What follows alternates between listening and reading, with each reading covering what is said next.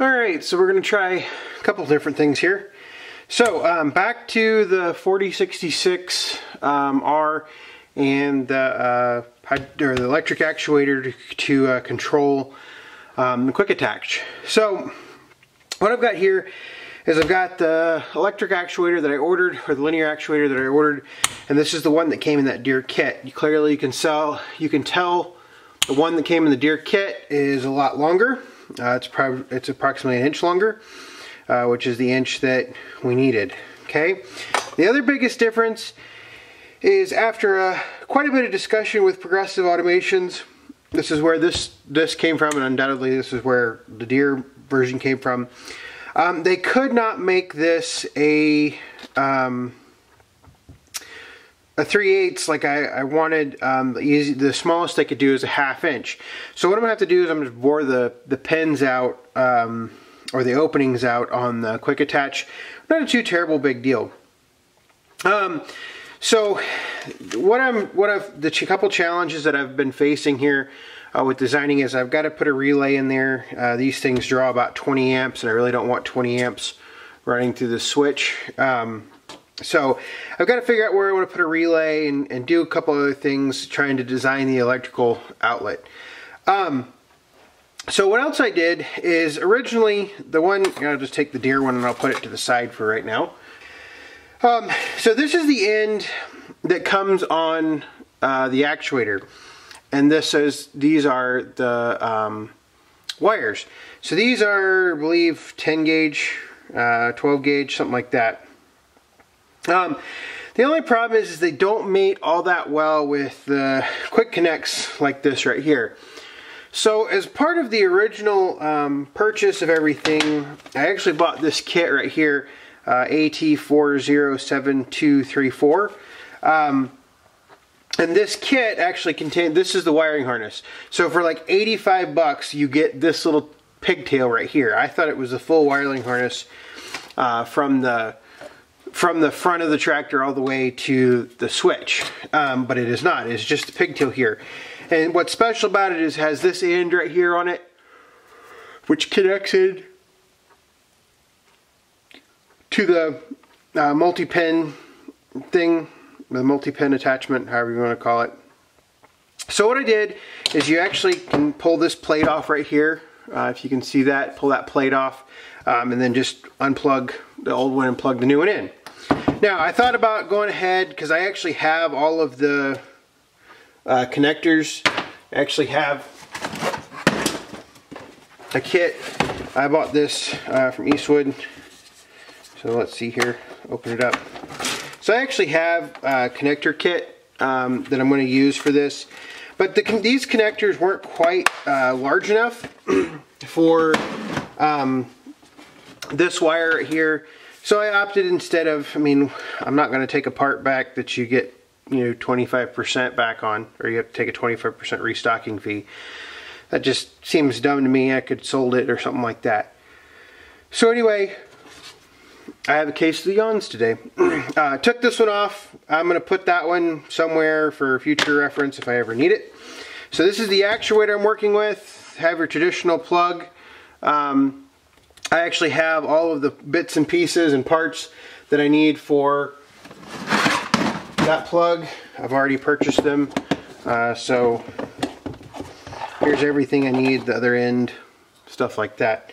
Uh, connectors, spade connectors, everything else. So there's those, I have those. So as soon as I decide on how I'm going to run the wires and everything, we should be good to go. This is the switch. Um, this is a switch. I got this from Deere. This would be the correct switch for a 204 or 304K loader. Um, it is just a plain rocker switch. Now the big thing is with these switches is these the overall size of these switches is larger than the switches for the 4066 stock. Um, so I am going to have to enlarge a hole, uh, one of the switch holes a little bit. Not that big a deal. I think it still looks okay. Um, when you're buying these switches, you'll have to actually order. So this is the switch right here. And then you actually have to go ahead and buy the little insert. I'm trying to get it to where somewhere you can see it. So you actually have to buy the insert to give it the correct connotation. In case this is AT330500. Um, so this goes in here. I'm not sure. I haven't. I think it just clips in. I'll have to decide the orientation once I um, probably be something like like that right there. Um, but that's the switch. I think Deere does this, so they don't have to stock numerous switches. Uh, they can just switch. They have to just have to stock the plastic pieces. So um, that's it for for uh, what we're what I'm up to now on this. I do have, like I said, some design work to do. I'll go out to the tractor and I'll take the camera and, and show you.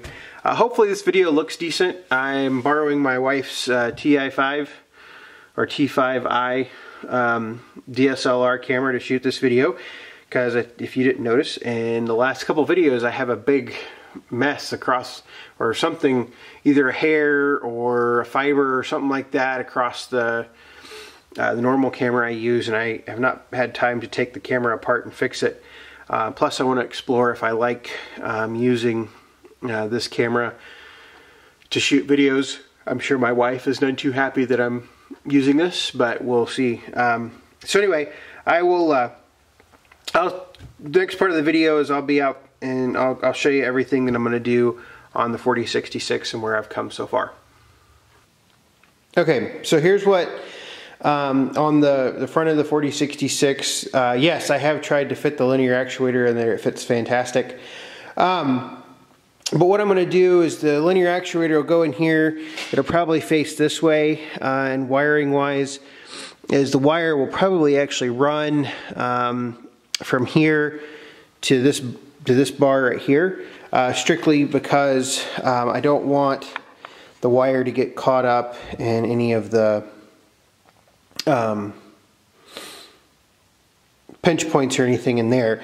And then probably what I'll do is I'll actually send the wire up alongside the hydraulic lines um, and then it will actually come out and it'll probably what I'm going to do is uh, shooting with this camera is kind of hard, is I'll have it terminate somewhere in here, um, and I will put it on here uh, some in some form or fashion, um, so I can easily get at it to disconnect um, the uh, the when I disconnect the loader, I can disconnect um, the linear actuator at the same time.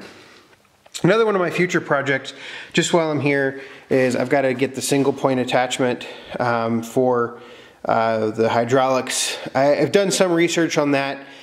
Unfortunately, there's no easy way or easy place to put it um, without either blocking views or something like that. So that'll be a, uh, that'll be one of those things that I, I have to continue to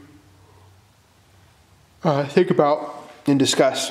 So um, then probably what I'm going to do is the, the power will, I haven't decided if it's going to come from the battery or if it's going to come from the fuse block. So I'll show you what fuse I'm planning on using. So in the tractor itself, um, there's a fuse panel right here. All right, so my intent is to use this 20 amp fuse. It should be a 20 amp fuse. Um, this would normally go to the trailer lights, uh, but I don't have a trailer light hookup. So I'm gonna, I think I'm going to use that um, for uh, the power for the, the uh, linear actuator. The linear actuator does draw 20 amps. Um, so that I think that's how I'm going to route it. Uh, I'll have to put a relay somewhere. That'll be a relatively small relay. I might actually just mount it somewhere in here. Uh, some, something like that. Um, so really important point um, about all, about all of this. Uh, so the linear actuator that I purchased is it's a 3,000 pound force linear actuator.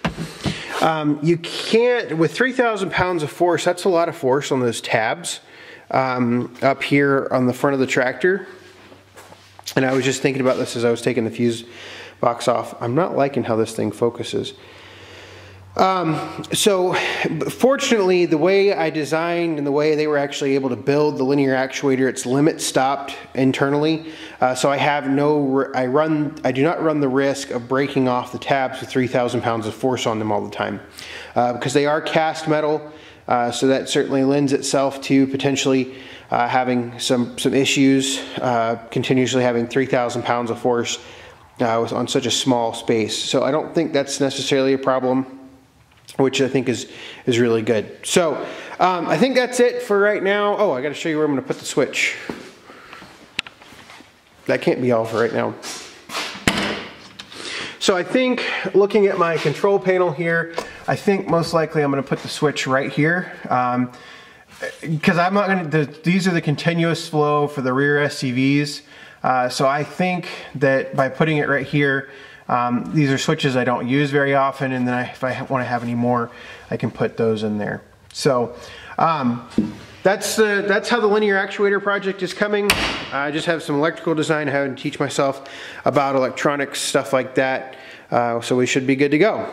Um, hopefully, in the next couple weeks, I'll get all those that laid out, the parts set up, and uh, I'll install it so we can watch it. Because right now, what I'm having to do is I'm actually having to use the wood dowel um, that I designed to uh, test everything out in terms of length. I'm having to design the wood, I'm having to use the wood dowel to keep the red pens down because uh, over time they tend to vibrate up. So that's not ideal for any stretch of the imagination. I've lost the, the bucket a couple times recently. So anyway, thanks for watching and updates to come.